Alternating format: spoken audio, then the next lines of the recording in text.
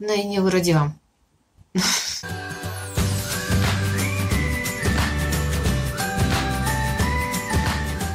no, fałszywy alarm. I nie wiem, jak to jest, kochani, ale ja w każdej ciąży mam takie dni, kiedy myślę, że to już, że to już będę rodzić. W pierwszej ciąży nawet pojechaliśmy, pamiętam, wcześniej do szpitala, bo myślałam, że to już na pewno ten termin, że to już, już rodzę. Wydaje mi się, że to wszystko zależy u mnie od dwóch kwestii. Pierwsza to taka, że ja bardzo szybko i tak gdzieś już siódmy miesiąc, jak pójdę do jednego czy do drugiego lekarza, to dostaję informację, że dziecko to już jest gotowe do porodu. E, I to mnie tak nakręca troszeczkę, że to już trzeba się przygotowywać, że to już, bo to zaraz będzie. E, druga sprawa to taka, że ja mam takie, że ciężko powiedzieć nietypowe, ale nie takie książkowe te skurcze przepowiadające. E, otóż standardowo z tego, co możecie wyczytać, e, jeśli chodzi o skurcze przepowiadające, e, to one powinny nie być regularne, powinny dosyć krótko w sumie trwać. Przy jakiejś zmianie pozycji czy jakichś aktywnościach powinny też ustępować, nie być tak bardzo bolesne nie bolą wtedy podobno plecy.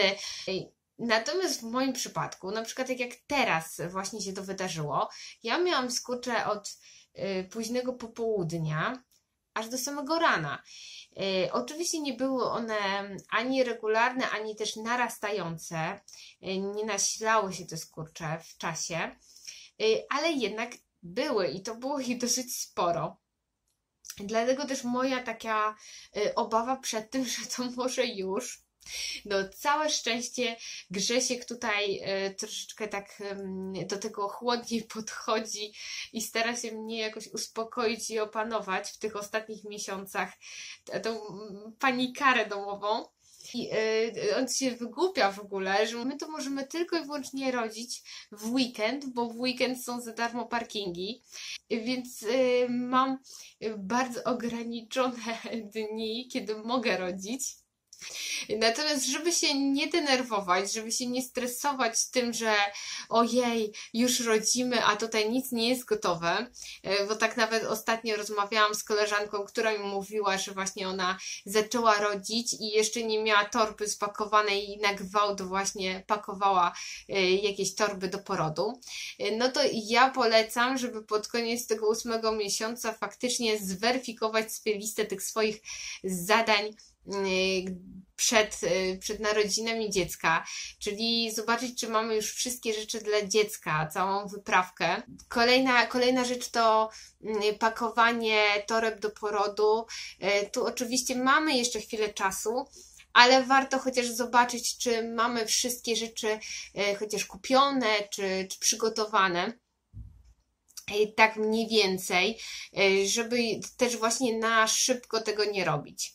I jeszcze jedna sprawa to y, badania. Dobrze jest wejść na przykład sobie na stronę szpitala i zobaczyć, czy jakieś badania, które mm, powinny być wykonane, czy, czy je macie, czy nie. W moim przypadku tak się zdarzyło, że jak pojechałam teraz na kwalifikację do domu narodzin, to się okazało, że, że część z moich badań y, w ogóle ja nie, nie posiadam, w ogóle nie były mi robione i musiałam teraz na szybko lecieć do lekarza, żeby tutaj e, te badania wykonać. E, więc na stronie szpitala zazwyczaj pojawiają się takie informacje, właśnie co jeszcze trzeba, co jeszcze trzeba tutaj e, przygotować. Ja teraz właśnie skończyłam ósmy miesiąc, czyli 32-35 tydzień ciąży. Tutaj dziecko naprawdę już jest spore, bo 2,5 kg, e, ale w stosunku do ostatniego miesiąca no, nieźle mu się przytyje, bo to jest prawie ponad kilogram. W tym ósmym miesiącu też na pewno bardzo dużo zrobicie różnych właśnie badań. Nawet jeśli e, nie tak jak w moim przypadku, że po prostu szpital e, tutaj różne rzeczy jeszcze wymyślił, można powiedzieć dodatkowe, mm, to na pewno lekarz Wam zleci e, powtórne na przykład badanie tam HIV, kiła, jakieś różne toksoplazmozy, GBS, więc Możliwe, że będziecie mieć już teraz jeszcze to takie jakby trzecie USG przed samym porodem, więc dużo tego będzie. No, dziecko jest na tyle już spore i ruchliwe, że tam w brzuchu no, niesamowicie się wierci. Ja czuję wszystkie swoje narządy w środku. Mm, które tam jeszcze, które, które mam, o których nie, w ogóle nawet nie myślałam, że one tam są, to teraz w tym e, ósmym miesiącu faktycznie bardzo dokładnie je czuję. E, przyjemne z drugiej strony jest to, że, że można zobaczyć, że o, tutaj wystawia tyłek, a tutaj jest główka, tu rączka. To jest takie zabawne i, i dziewczyny też się bardzo cieszą, jak im pokazuje, że, że coś się tutaj dzieje w tym brzuchu.